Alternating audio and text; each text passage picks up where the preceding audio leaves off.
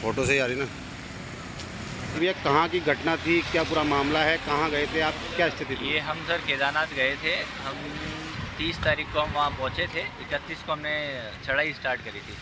और ये इकतीस का ही मंज़र है। जब हमने चढ़ाई स्टार्ट करी थी इकतीस की साढ़े आठ साढ़े आठ बजे बारिश स्टार्ट हुई थी जस्ट रेगुलर जैसे बारिश होती है वहाँ का मौसम जैसे आता है। बट बारिश का फ्लो धीरे धीरे धीरे धीरे इतना स्पीड में आने लगा कि जैसे जो 2013 का मंजर था, वही सीन याद आने लग गया, जो हमारे पानी हमारे कमर के ऊपर से जाने लग गया था।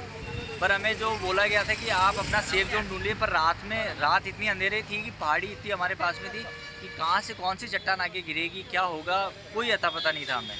पर हमने तो भी हमारा एक सेफ़ जोन देख के हम वहाँ रुके रात को साढ़े दस बजे बारिश थमी। रेगुलर दो घंटे बारिश हो रही थी कि वहाँ बादल जो एक लिंचोली है नीचे के एरिया सारे तबाह करते थे। जो मंदिर के ऊपर के एरिया था वहाँ पर दो तीन ब्रिज टूटे थे पर नीचे के जितने भी एरिया थे वहाँ सब के ब्रिज टूट गए थे। फिर ब्रिज टूटने के बाद हम हमें तो वहाँ रात को स्टे करा दिया था गवर्नमेंट के। फिर हम वहाँ स्टे करा हमने स्टे करने के बाद हमने मंदिर को दर्शन वर्शन करे। फिर हमने जैसे ही हमें आने लगे हम जैसे नीचे उतरने लगे तब हमें रेगुलर पता पड़ा कि जैसे कि बहुत ज़्यादा तबाही हो चुकी है।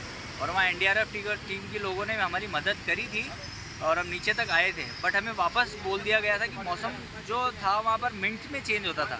और फिर हमें बोला गया कि आपका रेस्क्यू डायरेक्ट मंदिर से ही होगा, क्योंकि वहाँ का हेलीपैड बड़ा था। और एनडीआरएफ के एम सेवनटीन से हमारा रेस्क्यू कर, किया जाना था।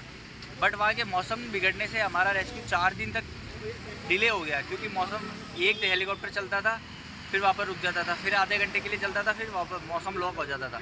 इस वजह से हमारा रेस्क्यू चार दिन तक डिले हो गया और चार दिन तक हम वहीं पर ही स्टे कर रहे थे। गवर्नमेंट की तरफ़ से हमें फ्री अलॉटेड करे थे। गवर्नमेंट के बहुत अच्छे कितने लोग थे आप? हम हमारे तेरह का ग्रुप था राजस्थान का और पच्चीस का ग्रुप था बीकानेर का राजस्थान के और तो अजमेर में कहाँ रहते हैं आप लोग? अजमेर हम सुखाड़े नगर में। सुखाड़िया नगर में। जी। ठीक है तो घर वालों से संपर्क हो पाया था घर वालों का संपर्क सर वहाँ की लोकली हमने मोबाइल नेटवर्क से हमने उनकी कॉल्स वगैरह बी एस एन चल रही थी।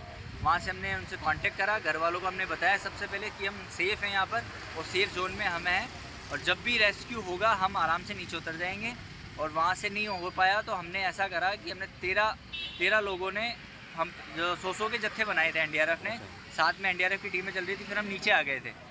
तेरह किलोमीटर आने के बाद फिर जो नीचे गौरीकुंड से सोनप्रिया का जो रास्ता था वो पूरा समाप्त हो गया था। इस वजह से हमें रेस्क्यू हेली के अकॉर्डिंग करा था। और हेलीकॉप्टर से हमें सिरसी तक उतारा। फिर वहाँ से हम हमने हमारे व्हीकल करके हम ऋषिकेश तक आए। थे नाम बताया आप। धीरज नाम। टोटल कितने लोग थे आप? हम तेरह लोग थे।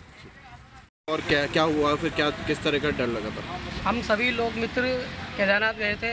केदारनाथ में कम से कम 12 से दस बारह किलोमीटर चलने के बाद हमारे वहाँ पर बहुत तेज़ बारिश हुई। जस्ट हमारे पीछे बादल फटा। सारी चट्टानें गिरने लगी और धरती मतलब कंपन होने लगी फिर सारे मित्र हम लोग भागे। वहाँ से भागने के लिए बहुत काफ़ी दूर भागने के बाद पानी का भाव बहुत तेज़ था वहाँ पर। हम अपने आप को संभाल नहीं पा रहे थे। फिर वहाँ पे जाके एक डॉक्टर थी डिस्पेंसरी उन्होंने हमारे को रेस्क्यू करा उन्होंने हमारे सबको अंदर डाला। अच्छा। इसी प्रकार हमने बहुत मुश्किलों से हमारी जान बचाई वहाँ पर। क्या खाना वाना भी पैसे वैसे खत्म हो गए थे? पैसे भी हमारे पास काफ़ी लगभग ख़त्म हो चुके थे। फिर वहाँ पर इंडिया एयर वालों ने और वहाँ की प्रशासन ने हमारी बहुत सहायता करी खाना वाना खिलाया रहने की सुविधा भी दी फ्री। हाँ। अच्छा अगर वो लोग नहीं होते तो क्या हो सकता था? वो लोग नहीं होते तो हम बहुत बुरी मुश्किल में फंस सकते थे। क्योंकि वहाँ पर जहाँ पर जो स्थानीय लोग थे उन्होंने ना मतलब लूट मार बचा रखी थी। सत्तर की चीज़ सौ सौ रुपये में दे रहे थे पानी की बोतल सौ सौ रुपये में हो रही थी। बहुत नुकसान हो रहा था। किस तरह से रेस्क्यू किया गया आप लोगों का? हमारे को पहले इंडिया वाले टुकड़ों में रेस्क्यू करा। पहले आगे आगे टुकड़े हमारे आगे चलती रही। फिर आगे से दूसरी टुकड़ियाँ ऐसे आगे चलती रही। उन्होंने हमारे को ना रेस्क्यू से सारे भी उतारा। रेस्क्यू बहुत अच्छा करा इंडिया वालों वहाँ रहते वक्त आपका घर वालों संपर्क हुआ? बहुत कम हुआ। वहाँ पर नेट चलता नहीं था। बिल्कुल बिल्कुल बंद था। जेमल लगा रखे थे। ठीक है आपका नाम? अनुराग क्या करते हैं आप? मैं मजदूरी करता हूँ। आपका उम्र? उम्र तीस साल।